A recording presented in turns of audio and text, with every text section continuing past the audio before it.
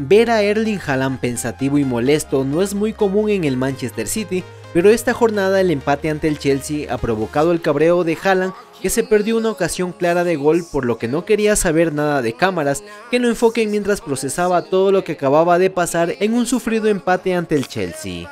El City pierde la oportunidad de depender de sí mismo para superar a Liverpool en el liderato de la Premier.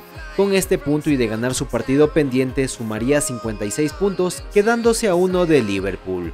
Haaland sabía que no era un buen resultado y producto de su frustración pagó los platos rotos el camarógrafo que le hacía un primer plano.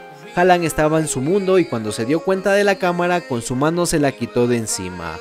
Pero Haaland no ha sido el único que se cabrió con las cámaras. Xavi Hernández también protagonizó este retador gesto con las cámaras de la liga mientras lo enfocaban cuando Lewandowski marcaba el penal de la victoria.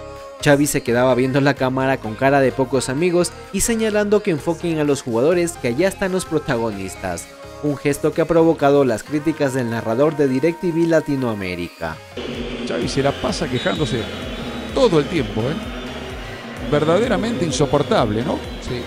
No, no, disfruta. nada le gusta. No, no disfruta. Nada, no, no, no. Evidentemente, por lo menos desde afuera, desde lo visual, no le está pasando bien el Barça. Alguien que la pasaba tan bien dentro de la cancha, no la está pasando bien.